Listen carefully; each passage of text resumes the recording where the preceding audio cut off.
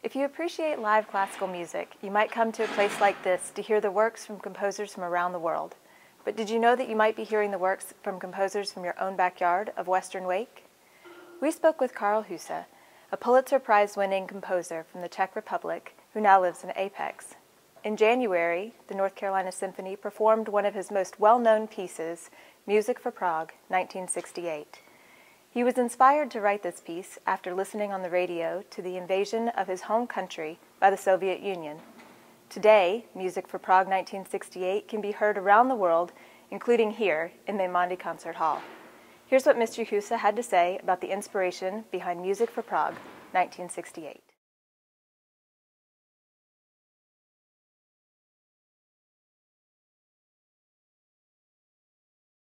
In the summer of 68, I was to write a piece of music and uh, at exactly at the same time the events happened in Czechoslovakia. Mm -hmm. That is, that Soviet Union occupied my native country. Mm -hmm. And uh, I have learned about it from the transistor radio in the evening at the lake in Ithaca and uh, the speaker said, people listen to this. Soviets are invading Czechoslovakia.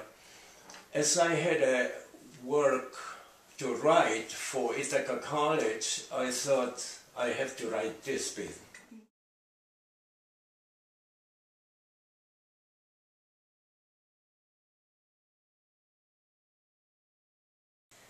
Yes, of course. Uh, there are instruments that can create uh, panic, that can create despair, like trumpets calls.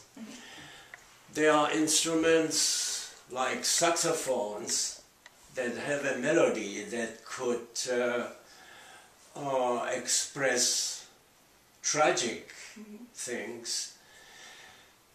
But uh,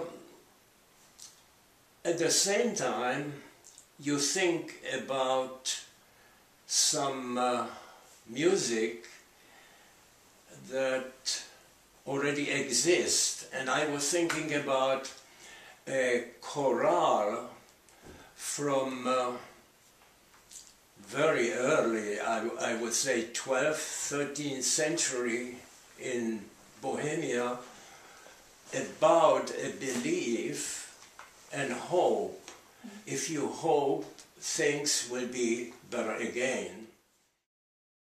Officially, the Lamar Stringfield Society um,